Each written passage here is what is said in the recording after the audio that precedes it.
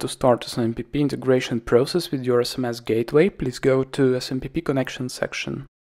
Click on create and you will be redirected to SMPP configuration page.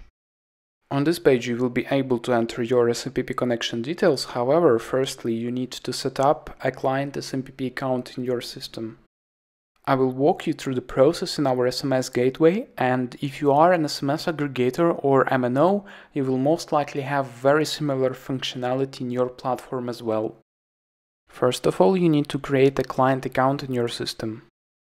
Let's call it test supplier A and create a password. Provide the remaining details which are required in your system to finish the account setup. Now you can add testing credits, whitelist our IPs and most importantly set up routing and coverage. For this account I will route all traffic to supplier A.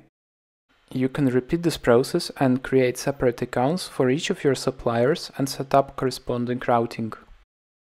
If you can do routing based on service type, you just need one client account for all of your suppliers.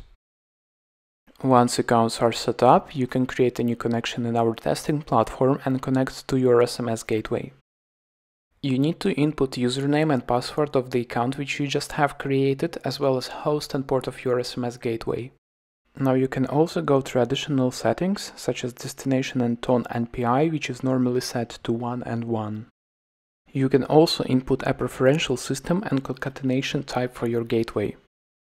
Now you can link your new SMPP connection to a supplier. Just click on Add for the list of previously created suppliers to appear.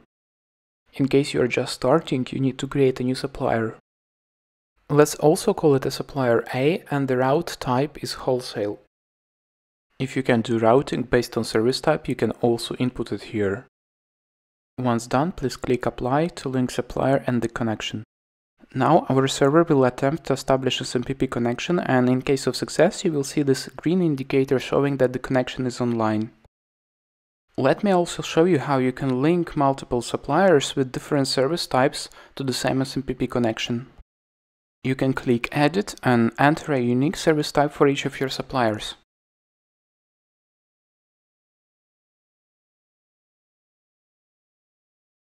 Now you can assign several suppliers to the same SMPP connection and the corresponding service type will be automatically sent to your server.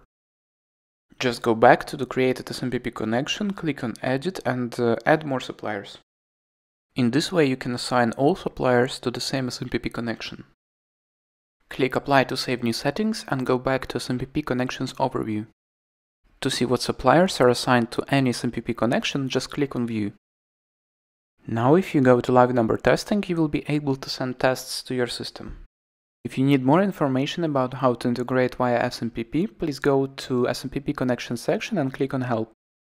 Here you will be able to see the latest IP addresses of our system as well as diagrams which will help you to better understand the SMPP integration process. Thanks a lot for your time and if you have any questions, please don't hesitate to contact us.